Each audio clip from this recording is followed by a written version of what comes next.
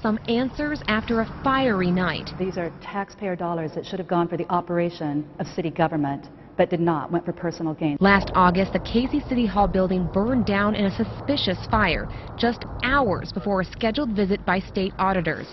Citizens told KCCI they had petitioned for an audit of the city's finances. people have seen things that are suspicious, and, and people are starting to question that. After recovering records from multiple sources, the state auditor's office discovered from 2008 to 2014 there were nearly $300,000 of improper and unsupported disbursements and undeposited utility billings. The city clerk used for credit card payments for personal purposes versus city business. Auditors say former city clerk Dorothy Dillinger told investigators she issued unauthorized checks to herself and used credit cards for personal use.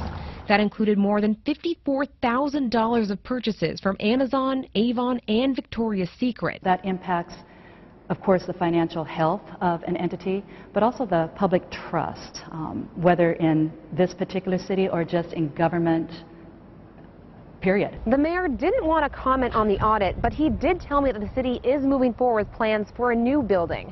Residents tell me they just want to put the past behind them. Well, it is disappointing, and I know it's very disappointing to the people. shame that all the records and everything burnt. And, you know, I, I just feel like somebody's got to answer to it. The state auditor says some of the money also went to the public works director. So far, no charges have been filed. The state auditor says they are working with the city leaders to put better measures in place. The Department of Public Safety says the fire is still under investigation. In studio, Rose Heafy, KCCI 8 News, Iowa's news leader.